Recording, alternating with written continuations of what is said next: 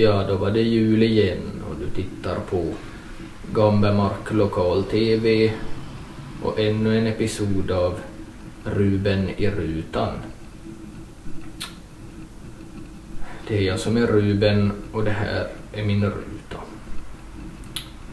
I dagens program så kommer jag ha med mig färgsprakande gäster i min färgsprakande soffa. Och dagens gäst så han har blivit utsedd till månadens medarbetare på kommungården. Hjärtligt välkommen in, Kurt på kansli. Ja, då var jag rädd. Ja, jag kan ju bara berätta för er som inte känner Kurt att, att han är en mycket pratglad och trevlig typ, att han håller igång på på arbetsplatsen i, i, i kafferummet och berätta roliga historier till exempel. Att ska, du, ska du dra den här vitsen som du berättade här för mig innan vi började? Den här? Ja, det det är de två svartingar Nej, det som... var, det, var inte, det var inte den som jag tänkte på utan...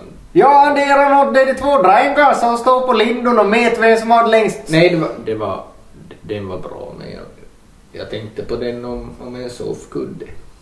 Ja, hörni, vet ni vad det är för skillnad mellan tjejmin och en soffkudd? Nej. Kudden kan vara tyst.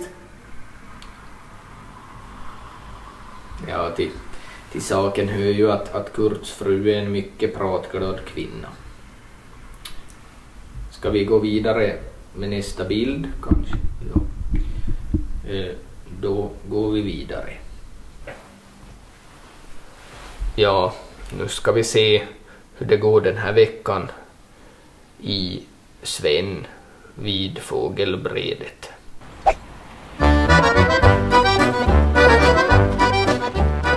Jag står här vid fågelbredet med några fåglar. Syns inte till.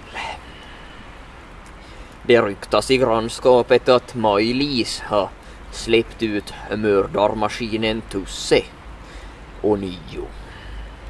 Senaste härjningarna han hade gjorde att domherrarna försvann. Och idag är det tydligen gråsparvens tur.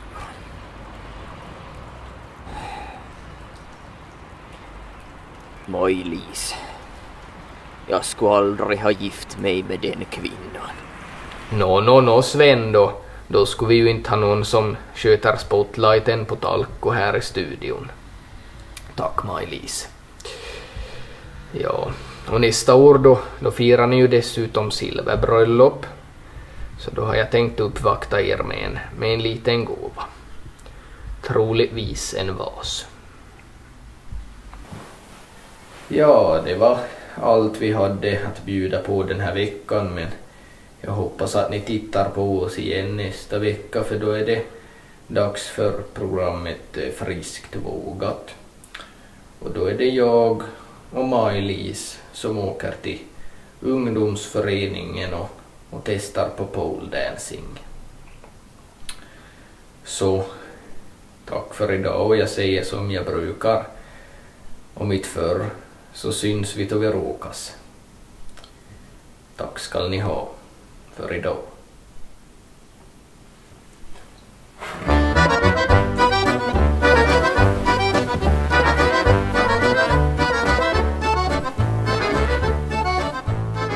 Kurt, Kurt kom hit och dra den där fräckisen nu för nu har kameran slocknat.